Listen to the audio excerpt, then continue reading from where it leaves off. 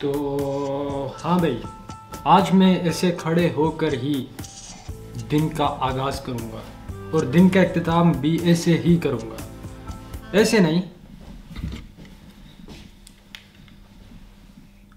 ऐसे।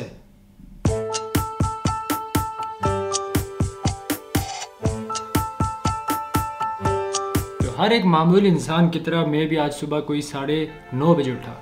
वैसे तो मैं सुबह उठता हूँ साढ़े दस बजे, लेकिन रात को भूख ने मेरा हाल उस तड़पती हुई मछली की तरह कर दिया, जो एक सेकंड में एक तरफ़ पलटी मारती है, दूसरे सेकंड में दूसरी तरफ़ पलटी मारती है। तो इस पलटी के चक्कर में मैं उठा साढ़े नौ बजे। आप सोच रहे होंगे, यार, साढ़े नौ बजे इंसान करता है नाश्ता। तो मैंने नाश्ता फिर भी नहीं किया। सामान वगैरह समेटा मतलब ज़्यादा सामान नहीं, बैग, कैमरा, बटुआ, मोबाइल, उसका पावर बैंक, इस सामान की बात कर रहा हूँ। और सबसे पहले हम गए एटीएम मशीन के सामने।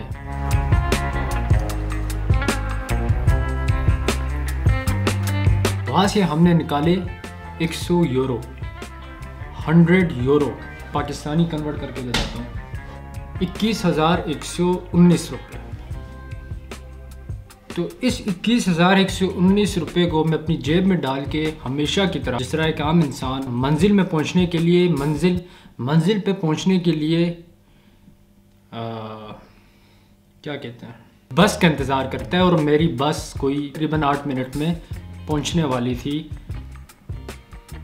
हमें उठाने के लिए। आपका भाई साल्सबर्ग शहर में हमेशा की तरह मजबूर पिज़्ज़ा का शौकीन।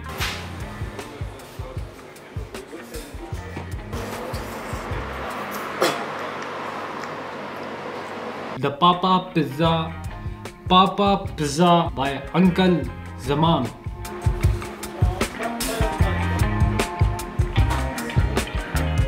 वहाँ से मुझे कोई पिज़्ज़ा और पेप्सी की बोतल 11 यूरो में मुझे पड़ जाता है। 11 यूरो पाकिस्तानी कितने बनते हैं वो भी बताता हूँ। तो 24 यूरो तो मैं हमेशा दिन में वैसे ही शुगल मुगल में खा लेता हूँ you know Amar which man वैसे कुछ ज़्यादा एनी हाउ उधर से मैं गया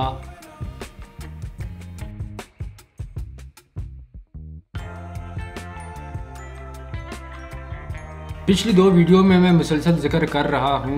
मुझे रोटी नहीं मिल रही। मंडे को रोटियाँ बराबर करिएगा अंकल। गुजारा नहीं है रोटियों के बगैर। रोटी तो मिली नहीं। रोटी नहीं मिल रही मेरा गुजारा मुश्किल से हो रहा है। मुझे मुझे जीना है मुझे साँसें लेनी। तो पराठे फ्रोज़न शामी कबाब वो भी फ्रोज़न उससे हम अपनी ज़िंदगी गुजार रहे थे।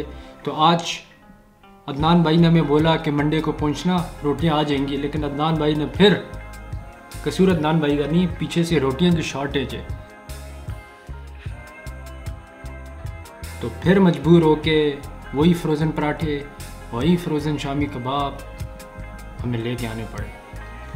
एक प्रॉब्लम मुझे अक्सर ये आती है कि जब मैं बाल थोड़े थोड़े बड़े करता हूँ तो बालों में पटर नूडल्स की तरह थोड़े यहाँ से कर्फ थे कोई यहाँ से कर्फ होते हैं तो मैं बार बार नहा नहीं सकता। तो इस जंगठे से बचाने के लिए, आवाम में अपनी इज़्ज़त को रखने के लिए मैंने एक बिल्कुल नई लशपश ब्लैक एंड डार्क ग्रीन का कॉम्बो पे मुझे कोई 22 यूरो की 22 यूरो कितने बनते?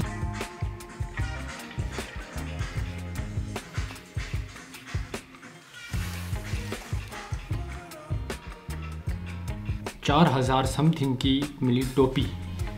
डेमो दिखाऊँ? टोपी आपको दिखाऊँ? ये है मेरी टोपी। इसके सिनेमेटिक शॉट्स तो मैं नहीं दिखाऊँगा। क्योंकि आज मेरा अंदाज गुफ्तु बहुत मुख्तलिफ़ है तो इस अंदाज गुफ्तु से हिलने का दिल नहीं कर रहा। इससे ही बात करना है, बस मुझे पता है मैंने कंटेंट बनाना है। कंटेंट में कंसिस्टेंसी आनी चाहिए, जो मर्ज़ी हो जाए।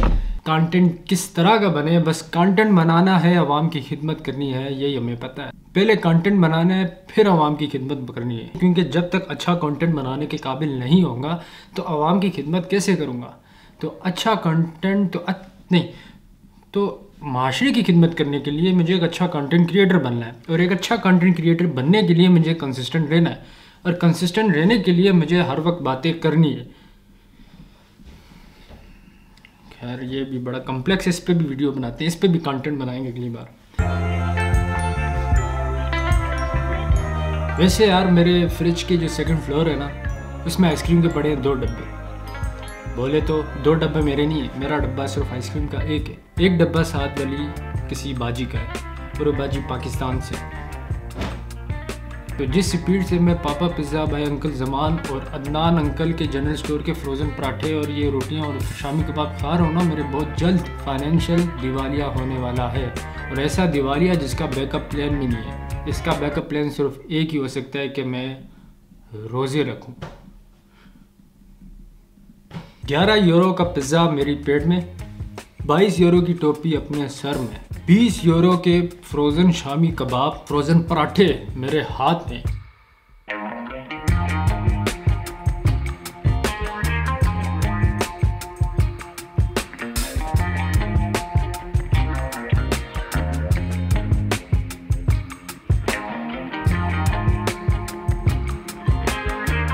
हर एक माँ दिन के आखिर में सामान लेके अपने घोंसले में आती है।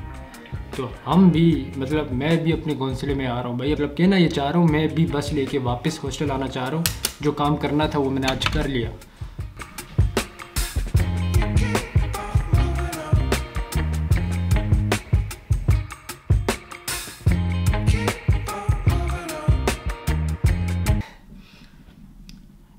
बहुत फ़िलासफ़ी नहीं जाट तो बहुत फ़िलासफ़ी जाट दी है यार।